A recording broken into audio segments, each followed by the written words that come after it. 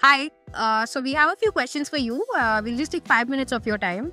Uh, can you please introduce yourself and tell us where you work and what you work as? So my name is Shivangi. I work as a data analyst at AstraZeneca uh, in the healthcare domain. Like basically, I recently joined kind of like four months ago. And prior to this, I used to work in a service company as a data analyst. Awesome. So, uh, do you know what GCCs are at all?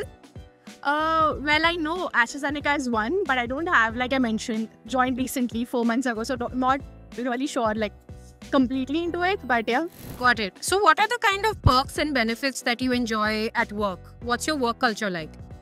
So one thing that is different from previous company, basically from services to product, is that uh, there is definitely flexibility in timelines, and there is much more uh, to learn in terms of the product to understand rather than just uh, even in data analysis there are like multiple things not just in terms of services but to understand where exactly this would be used basically the end goal. So i think that becomes very important when i work on the analysis because i know exactly where and how it would be used.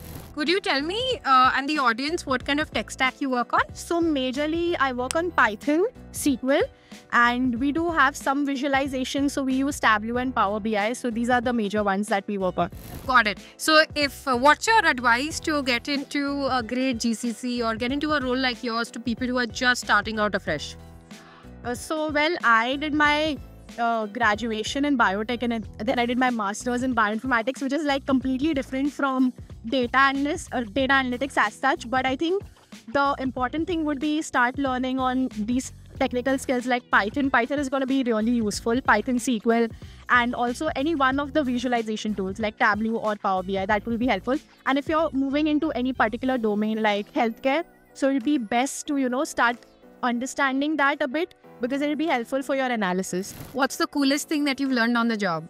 So currently, so here currently I'm working on something to do with uh, commercial targeting and competitor analysis. So I've just started working on it, and I think it's really amazing. Like it's it's very interesting right now. So I have different types of data that I'm working on. So it's still in the process. I'm still in the process of learning it, but it's good. Okay, thank you so much. Thanks for talking to us.